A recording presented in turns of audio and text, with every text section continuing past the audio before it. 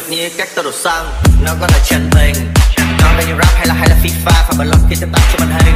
Tao tới là nhạc sập sinh tân gái như được lập trình. Trên nhạc anh như trên truyền hình. Làm mặt tiền fan rồi lăn tiền đình ê, mấy thằng nhóc.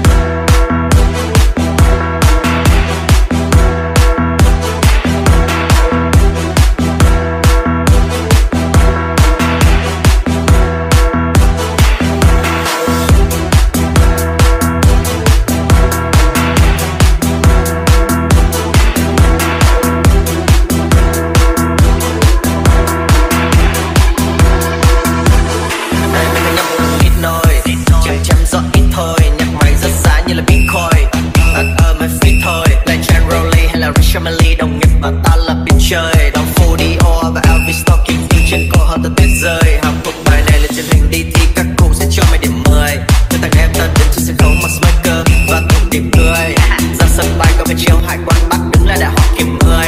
Người cô ăn nói đầu vời Để nghe anh nói nói một phiểu 10 Vì ta chỉ cần đô la